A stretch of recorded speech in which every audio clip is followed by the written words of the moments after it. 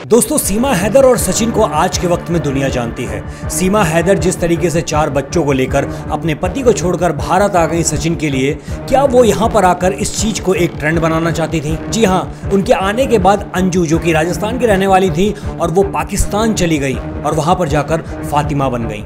उन्होंने हिंदू धर्म को छोड़ दिया और उसके बाद इस्लाम को कबूल कर लिया। अब ऐसा ही एक नया केस सामने आया है राजस्थान के डूंगरपुर का, जहाँ पर दीपिका नाम की एक महिला एक मुस्लिम लड़के के साथ कुवैत भाग गई और जब उनके बुरके के साथ फ़ोटो सोशल मीडिया पे वायरल हुई तो उनके पति के पैरों के नीचे ज़मीन खिसक गई। वैसे आपकी जानकारी के लिए बता दें कि दीपिका राजस्थान की रहने वाली हैं और इनके पति मुंबई में नौकरी करते थे।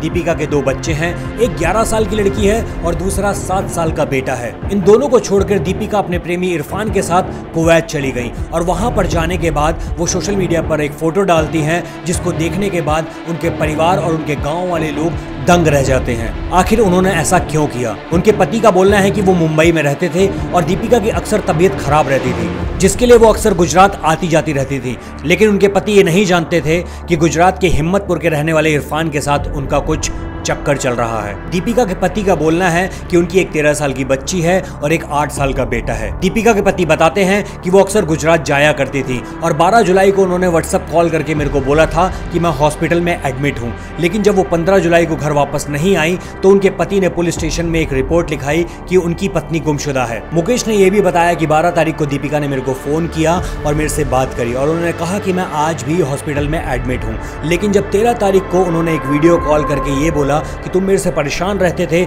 इसलिए मैं तुम्हें छोड़कर कुवैत आ गई हूँ। और जब उन्होंने सोशल मीडिया पर बुरके के साथ फ़ोटो डाली, जिसको देखने के बाद उनके पति बहुत ज़्यादा हैरान थे, और ये खबर उनके पूरे गाँव में फैल चुकी थी कि दीपिका अपने बच्चे और पति को छोड़ के इरफान के साथ कुवैत चली गई है। उनका बोलना है कि इरफान ने उनकी बीवी का ब्रेन वॉश किया है और उनको धर्म परिवर्तन करवाया है। पुलिस ने इरफान के खिलाफ मुकदमा भी दर्ज कर लिया है। दीपिका के पति का बोलना है कि पुलिस को दीपिका और इरफान पे कड़ी कार्रवाई करनी चाहिए क्योंकि एक सोची समझी प्लानिंग है। दीपिका अपने घर से लाखों रुपए लेकर गई हैं और अपना सारा का सारा गोल्ड लेकर गई हैं। उनका बोलना है कि इरफान ने उनका माइंड वॉश किया है और तभी उन्होंने ये सब कुछ किया है। लेकिन इसमें सवाल ये उठता है कि आखिर इस सब के पीछे उन मासूमों की क्या गलती जिनको छोड़कर दीपिका कुवैत चली गई हैं? वो छोटे छोटे बच्चे जब बड़े होंगे तो लोग उनसे क्या सवाल करेंगे और वो उसका क्या जवाब देने वाले हैं? और इससे हमारे समाज पे क्या फ़र्क पड़ रहा है? क्योंकि जिस तरीके से ये सिलसिले बढ़ने लग गए हैं, इनको रोक पाना नामुमकिन है, सीमा हैदर का पाकिस्तान में अपने पति को छोड़कर भारत आ जाना